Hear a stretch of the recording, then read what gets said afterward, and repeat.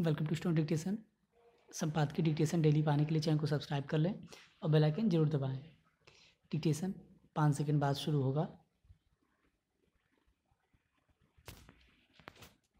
Ready start केंद्रीय सांख्यिकी कार्यालय से देश की अर्थव्यवस्था के जो आंकड़े आ रहे हैं, वे तो चिंतित करने वाले हैं ही, साथ ही खुदरा महँगाई के जो आंकड़े आए हैं, वे कहीं ज़्यादा परेशान करने वाले हैं।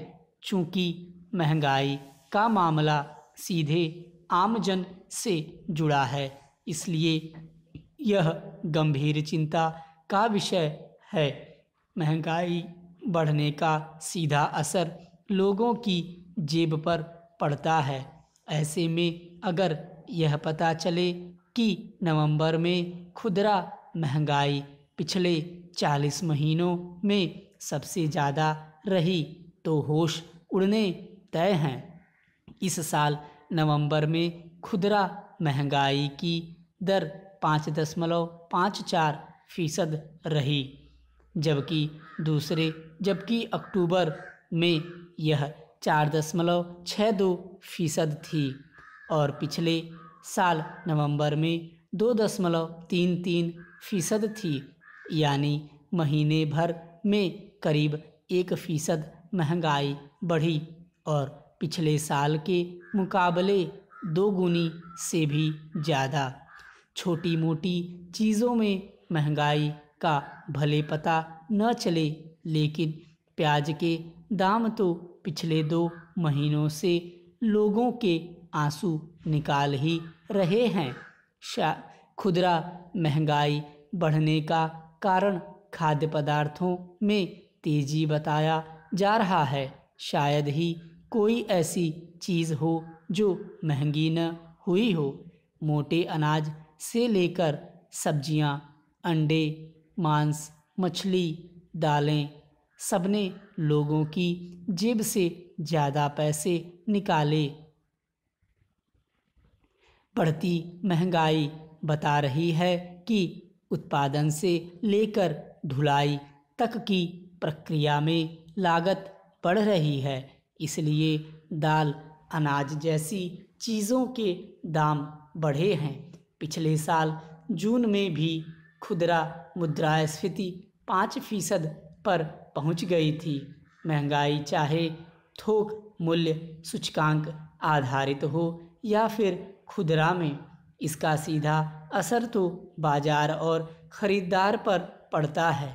यूँ हमेशा मुद्रास्फीति बढ़ने का सबसे बड़ा कारण पेट्रोल और डीजल के दाम बढ़ना बताया जा रहा है और ऐसा होता भी है।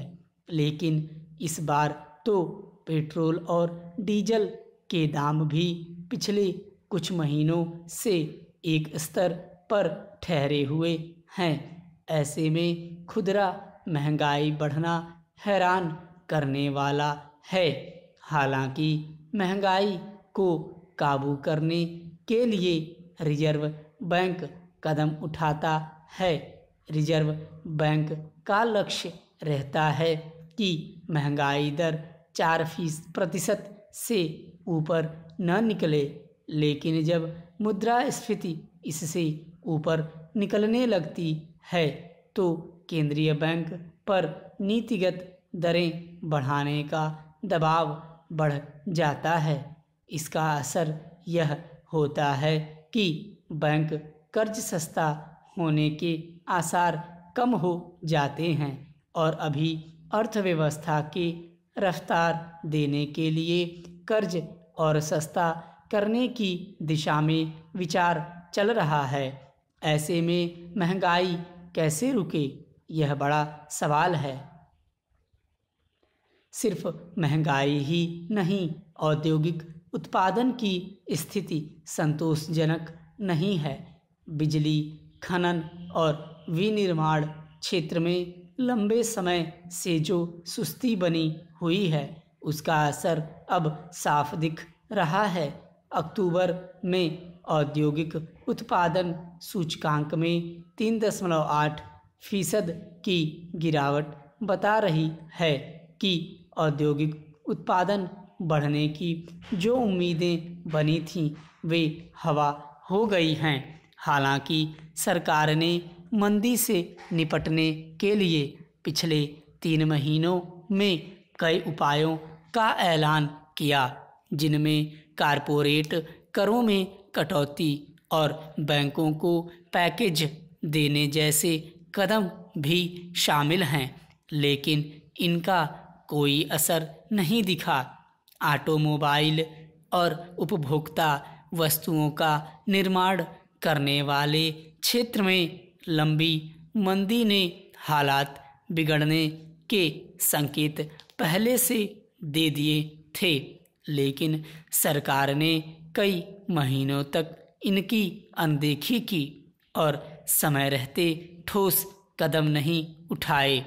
उनका नतीजा आज सामने है। अब भले सरकार की नींद टूटी हो, लेकिन उद्योग क्षेत्र की हालत सरकारी आंकड़े बयां कर रहे हैं। बढ़ती महँगाई और घटता उत्पादन बता रहा है कि सरकार समय रहते नहीं चेती तो हालात बेकाबू होने में देर नहीं लगेगी। स्टॉप।